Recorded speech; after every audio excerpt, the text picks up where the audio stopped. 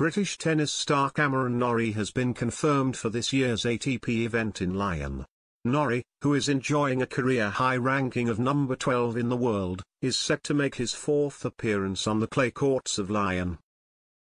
Norrie debuted at the Lyon event in 2018, when he made the semi-final before losing to Gilles Simon. Norrie returned to the event the following year but didn't impress as he was beaten in the first round by Ugo Humbert. Norrie made his third Lyon appearance last year and fell just short of winning his first title at the tournament. Norrie made the Lyon final, before suffering a straight-set defeat to world number 5 Stefanos Tsitsipas. Norrie will be among top contenders for the Lyon title.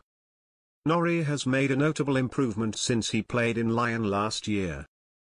Norrie is now a Masters champion and on the verge of breaking into the top 10. Norrie is now attempting to defend his maiden Masters title, which he won in Indian Wells last year.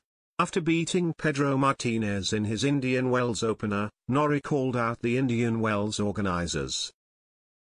Norrie could not believe that he as the defending champion was scheduled for Stadium 5. I think I wasn't shown any love, it didn't show much respect.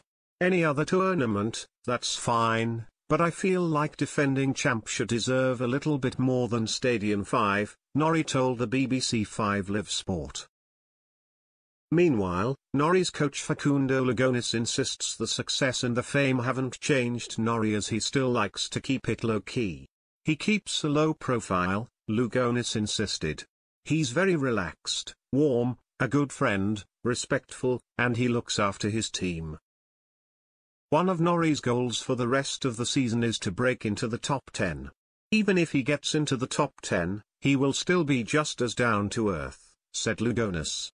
He will continue to have the same friends and treat everyone the same.